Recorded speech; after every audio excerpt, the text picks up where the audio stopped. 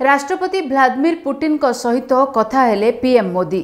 ୟୁକ୍ରେନ୍ର ସ୍ଥିତି ଉପରେ ଭାରତର ଆଭିମୁଖ୍ୟକୁ ଦୋହରାଇଲେ।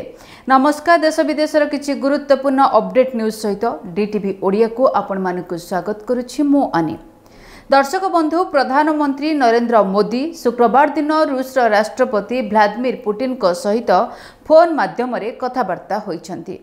ଆଉ ଏହି ସମୟରେ ପିଏମ୍ ମୋଦି ୟୁକ୍ରେନ୍ର ସ୍ଥିତି ଉପରେ ଭାରତର ଆଭିମୁଖ୍ୟକୁ ପୁଣି ଥରେ ଦୋହରାଇଛନ୍ତି। ମାମଲାର ସମାଧାନ ପାଇଁ ଆଲୋଚନା ଏବଂ କୂଟନୀତିକୁ ସେ ସମର୍ଥନ ଜଣାଇଛନ୍ତି।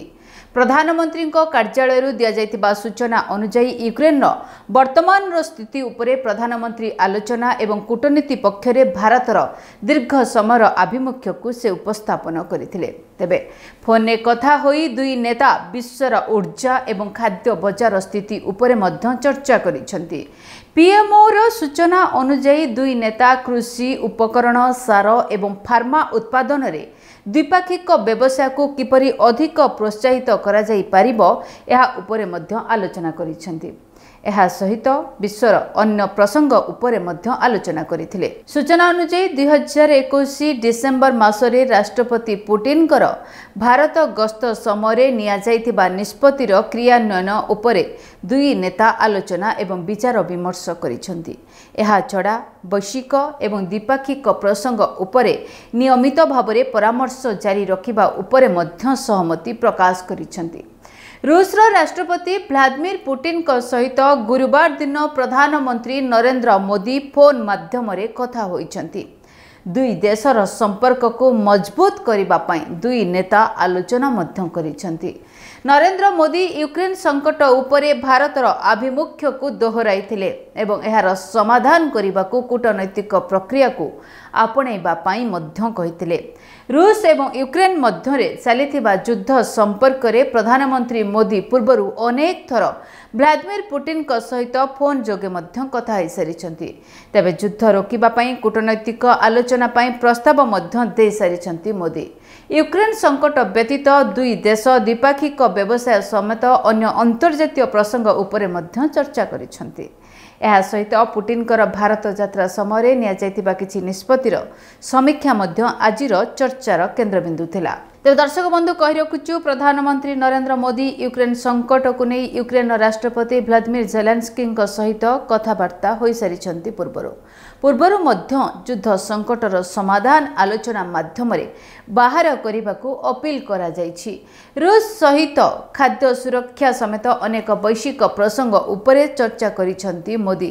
ପ୍ରଧାନମନ୍ତ୍ରୀ କାର୍ଯ୍ୟାଳୟ ଅନୁସାରେ ପ୍ରଧାନମନ୍ତ୍ରୀ ମୋଦି ଏବଂ ପୁଟିନଙ୍କ ମଧ୍ୟରେ କୃଷି ଫାର୍ମା ପ୍ରଡକ୍ଟ ଏବଂ ଉର୍ବରକୁ ନେଇ ଚର୍ଚ୍ଚା କରାଯାଇଥିଲା। ଦୁଇ ଦେଶ ମଧ୍ୟରେ ଅନ୍ତର୍ଜାତୀୟ ଶକ୍ତି ଏବଂ ଖାଦ୍ୟ ବଜାରର ବର୍ତ୍ତମାନର ସ୍ଥିତି ଉପରେ ବିଚାର ବିମର୍ଶ କରାଯାଉଛି। ଏଠାରେ କହି ରଖୁଛୁ କି ରୁଷ ଭାରତର ପାରମ୍ପରିକ ମିତ୍ର ଦେଶ ଅଟେ କିନ୍ତୁ କିଛି ଦିନ ହେବ ୟୁକ୍ରେନ୍ ପ୍ରସଙ୍ଗକୁ ନେଇ ଭାରତ ରୁଷକୁ ଜମା ବି ସମର୍ଥନ କରୁନାହିଁ। ନିକଟରେ ହୋଇଥିବା ଜି ସେଭେନ୍ ବୈଠକରେ ମଧ୍ୟ ଭାରତର ପ୍ରଧାନମନ୍ତ୍ରୀଙ୍କ ରୁଷ ଦେଶ ବିରୋଧୀ ରାଷ୍ଟ୍ରମାନେ ନିମନ୍ତ୍ରଣ କରିଥିଲେ। ରୁଷ ଉପରେ ପ୍ରତିବନ୍ଧକ ଲଗାଇବା ପାଇଁ ଏହି ବୈଠକରେ ନିଷ୍ପତ୍ତି ମଧ୍ୟ ନିଆଯାଇଥିଲା। ଭାରତ କିନ୍ତୁ ଏହି ପ୍ରସଙ୍ଗ ଉପରେ ନା ରୁଷକୁ ସମର୍ଥନ ଦେଇଥିଲା ନା ବୈଠକରେ ଖୋଲାଖୋଲି ସମର୍ଥନ ପ୍ରଦାନ କରିଥିଲା। ୟୁକ୍ରେନ୍ର ଓଡେସା ଅଞ୍ଚଳରେ ରୁଷ ପୁଣି ଥରେ ଜୋରଦାର ବର୍ତ୍ତମାନ ଆକ୍ରମଣ କରିଦେଇଛି। ଆକ୍ରମଣରେ ଦୁଇ ଜଣ ଶିଶୁ ସମେତ ଉଣେଇଶ ଜଣ ନାଗରିକ ପ୍ରାଣ ହରାଇଥିବା ବେଳେ ଆହତ ହୋଇଛନ୍ତି ଅଠତିରିଶ ଜଣ। ଏହି ଆକ୍ରମଣରେ ଓଡିଶା ଅନ୍ତର୍ଗତ ସେର୍ବକା ସହରର ବ୍ୟାପକ କ୍ଷୟକ୍ଷତି ଘଟିଛି।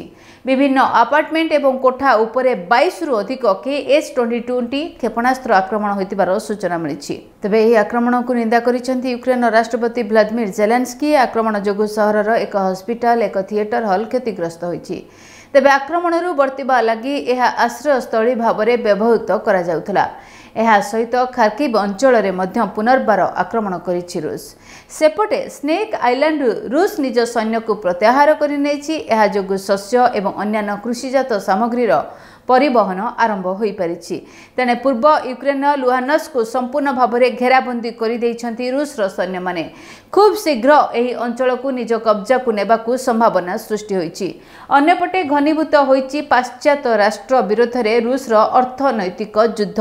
ସାକ୍ଲିନ୍ ଟୁ ଗ୍ୟାସ୍ ପାଇପଲାଇନ୍ ଏବଂ ବୃହତ୍ ତୈଳ ପ୍ରକଳ୍ପକୁ ପୂର୍ଣ୍ଣ ନିୟନ୍ତ୍ରଣକୁ ନେଇଛି ବର୍ତ୍ତମାନ ରୁଷ ରୁଷର ଏହି ପଦକ୍ଷେପ ଯୋଗୁଁ ପାଶ୍ଚାତ୍ୟ ରାଷ୍ଟ୍ର ଗଭୀର ସଙ୍କଟର ସମ୍ମୁଖୀନ ହେବା ସହିତ ସେଲ୍ କମ୍ପାନୀ ଏବଂ ଅନ୍ୟାନ୍ୟ ବହୁରାଷ୍ଟ୍ରୀୟ କମ୍ପାନୀକୁ ଅନେକ କିଛି କ୍ଷତି ମଧ୍ୟ ସହିବାକୁ ପଡ଼ିବ ତେବେ ଦର୍ଶକ ବନ୍ଧୁ ରୁଷର ଏହି ପଦକ୍ଷେପ ଯୋଗୁଁ ବିଶ୍ୱରେ ଏଲ୍ଏନ୍ଜି କ୍ଷେତ୍ର ମଧ୍ୟ ପ୍ରଭାବିତ ହେବ ବର୍ତ୍ତମାନ ରୁଷ ପୁରାପୁରି ଭାବରେ ପ୍ରତିକ୍ରିୟାଶୀଳ ହୋଇଉଠିଛି କଳେ ବଳେ କୌଶଳେ କେମିତି ବି ହେଉ ସେ ୟୁକ୍ରେନ୍କୁ ଛାରଖାର କରିନେବା ପାଇଁ ଏକ ପ୍ରକାରର ପଣ କରିଛି।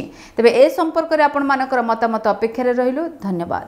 ଓଡ଼ିଶାର ଅଗ୍ରଣୀ ୱେବ୍ ଚ୍ୟାନେଲ୍ ଡିଟିଭି ଓଡ଼ିଆ ନିଜର ହେଡ଼କ୍ୱାର୍ଟର ଭୁବନେଶ୍ୱର ଅଫିସ୍ ପାଇଁ ଆବଶ୍ୟକ କରୁଛି visual editor graphic designer reporters ରାଜ୍ୟର ବିଭିନ୍ନ ସ୍ଥାନରୁ strangers news anchor internship cameraman ଏବଂ ଅଫିସ୍ ବୟ ଇଚ୍ଛୁକ ପ୍ରାର୍ଥୀମାନେ ନିଜର ସିଭି ସହିତ ଆମକୁ ମେଲ୍ କରନ୍ତୁ। ଆମର mail I D official D TV Odia at the rate Gmail dot com ଆମକୁ ଯୋଗାଯୋଗ କରନ୍ତୁ। ଆମର phone number nine three four eight zero six three five six zero seven nine seven eight seven eight two four five four